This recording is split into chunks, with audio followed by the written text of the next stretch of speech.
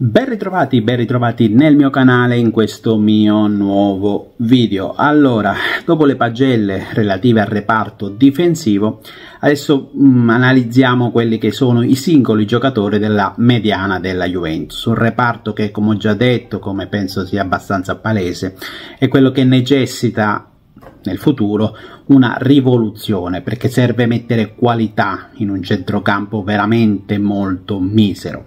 Però pensiamo a quelli che abbiamo oggi, quelli che hanno fatto in questa stagione, andiamo ad analizzare quelle che sono le mie personali valutazioni giocatore per giocatore.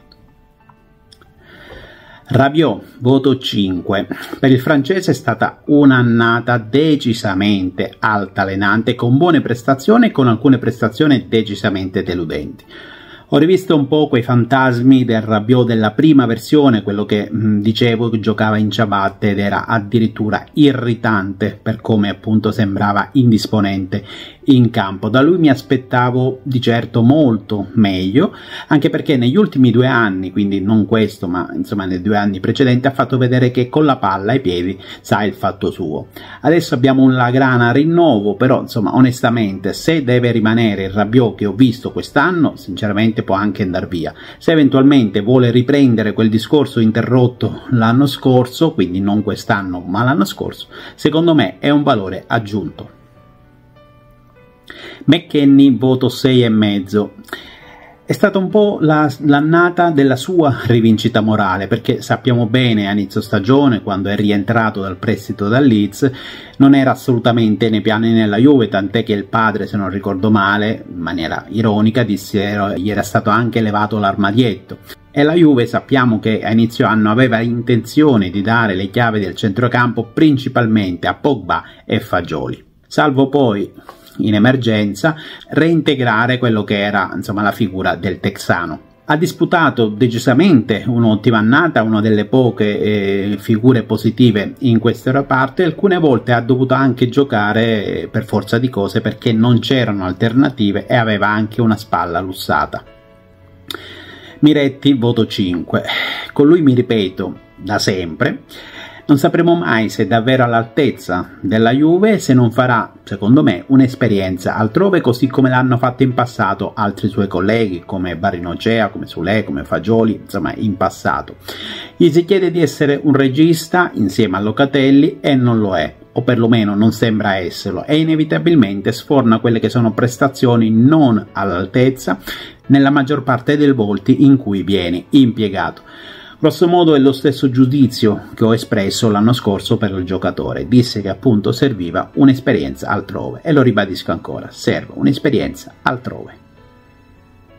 Fagioli senza voto si puntava tanto, come appunto detto poco fa, su di lui come prima alternativa a Pogba e poi quello che avrebbe dovuto in qualche modo andare a raccoglierne il testimone in futuro. Ha sbagliato e lo sa e se la Juve lo ha aspettato è quindi un segno che il ragazzo crede e non poco, visto che gli ha pagato anche lo stipendio come se fosse appunto successo nulla. Sono certo che il prossimo anno sarà l'anno della sua rinascita definitiva e gli europei che andrà a disputare quest'anno sono anche un sintomo di rinascita anche morale.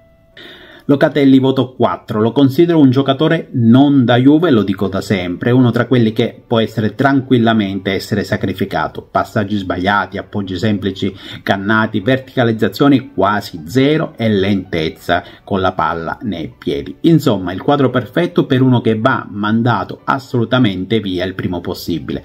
L'unica cosa degna di nota è stato quel gol rifilato alla sua squadra al Milan che però fu un tiro dalla lunga distanza deviato sbagliato, però insomma comunque è sempre un gol e va apprezzato per quello che è. Ad onor del vero c'è da dire che comunque pare sia più congeniale una sua collocazione come mezzala e non come centrale, ma comunque sia alcuni errori c'entrava poco la posizione in campo, piuttosto la testa e le gambe. Nicolussi Caviglia senza voto. Ha giocato poco, Allegri in una delle sue ultime interviste prima dell'esonero in occasione della finale di Coppa Italia si è detto che probabilmente avrebbe dovuto sfruttarlo di più, cosa che non ha fatto e aveva ragione, anche perché l'alternativa in campo si chiamava Locatelli che ho già detto insomma precedentemente. Probabilmente avrà più spazio in futuro a meno che non rientri in qualche scambio o eventualmente in qualche prestito. È un ragazzo che ha talento e lo si sa, però appunto deve ancora sbocciare. UEA 5,5 Onestamente non ho ancora bene inquadrato il giocatore, è il solo e unico acquisto del calciomercato estivo dello scorso anno e si riponevano in lui ovviamente tante buone speranze. Per il momento non corrisposte perché a mio avviso è ancora un po' troppo acerbo, però ha buona fisicità, un'ottima corsa e abilità al cross, pecca un po' ancora in fase difensiva ma secondo me le basi ci sono. Pogba senza voto. Se possibile gli darei anche 0 più che un senza voto per come è stata fallimentare questa sua seconda esperienza bianconera, per quanti soldi abbiamo buttato e per come ha deciso di buttare nel cesso questa sua seconda avventura. Lo scorso anno con delle scelte scellerate per quanto riguarda quello che è il suo recupero fisico e quest'anno per quanto riguarda la vicenda doping. Giocatore decisamente finito Alcaraz voto 5 e mezzo. Ha giocato poco e complice anche un infortunio, anche di meno di quello che avrebbe potuto. Arrivato non per volere di Allegri, visto che si parlava di una richiesta dell'allenatore di Pereira o di Bonaventura, però se comunque si è ritagliato un piccolo spazio e qualcosa di buono ha fatto vedere ma non di certo da far valere il suo cartellino a 50 milioni, che erano quelli poi patuiti a gennaio con il Southampton. Se riesce Giuntoli a rinnovare il prestito, penso possa far bene, altrimenti grazie e buona fortuna, Carlos. Kostic voto 5, un'annata molto al di sotto delle sue potenzialità, lo scorso anno fece 12 assist e circa 3 gol, quest'anno invece si ferma a 4 assist e 0 gol all'attivo. Onestamente sono molto ma molto deluso dal serbo perché sappiamo benissimo che può fare meglio, ma quest'anno appunto non l'ha fatto, c'è da capire quali sono state le motivazioni. Prima arrivava al cross almeno in 7 barra 8 volte su 10, ora è già tanto se ne riesce a fare mezzo. Purtroppo sacrificabile.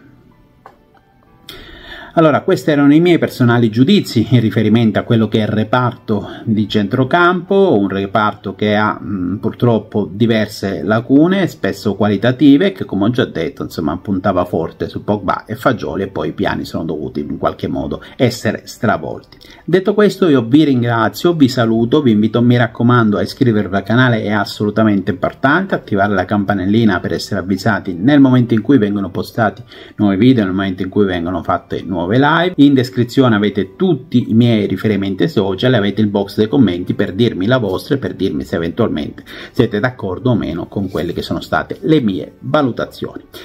Penso aver detto tutto e fino alla fine, sempre, solo e nonostante tutto, forza Juve!